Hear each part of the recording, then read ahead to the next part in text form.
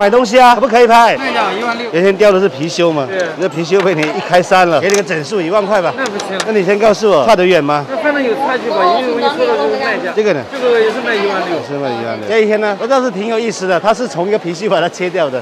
老板，都要收他了还不卖？再加一千。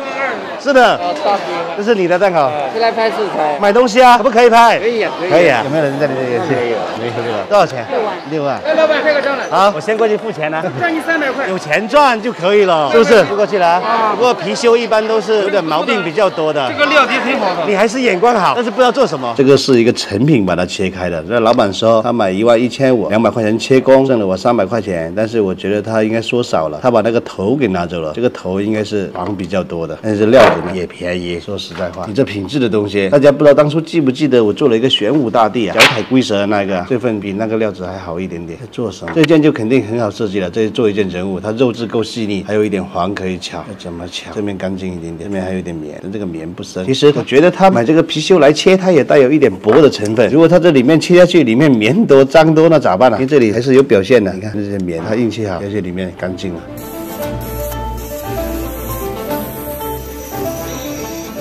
这是人家一个貔貅切的啊，我把它改造成这样子了。首先呢，这件是我最喜欢的，然后呢，它是巧妙的用这个黄做成一顶帽子，济公的帽子。济公呢是扇子鸡腿，还有葫芦，一只狗。我们在做这个济公的时候，我特别强调，济公一定要瘦，才能显出他的精神气。然后这边呢，这两个是大智如来，大智如来这里怎么会整一只猴子呢？上面这个黄色的，我把它巧成一只猴子。然后这里的黄色呢，上面是雕一朵莲花，后面这里还有一只羊。为什么呢？大智如来会有猴跟羊呢？你们猜？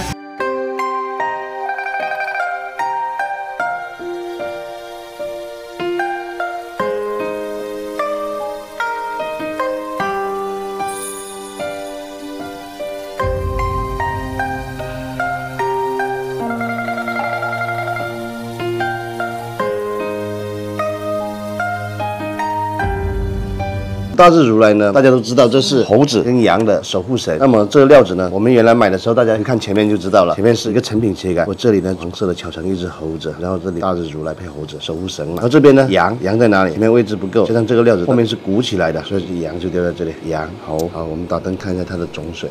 它种水它就是糯，但是它细，然后细的来呢，黄都还不错。大智如来脸很小啊，还有我最喜欢的其实是这一件，你看我们济公全身破破烂烂的，扇子也破，帽子也破，衣服也破，然后带着个葫芦，你看这个葫芦的种水是不是很好？然后呢，我们把它黄色的调成它的帽子，这里呢有一只狗，这里有个鸡腿，但是可能人不知道雕济公它是什么个意义。有一座寺庙里面有说一句万事只求半成形，前面那一句叫啥我记不得了。其实是这样子的，它是游侠，你知道吗？它游历四方。你像我们这种今天在揭阳，明天在平洲，后天在。像我们这样的人，其实是最适合佩戴它，保平安，到处走。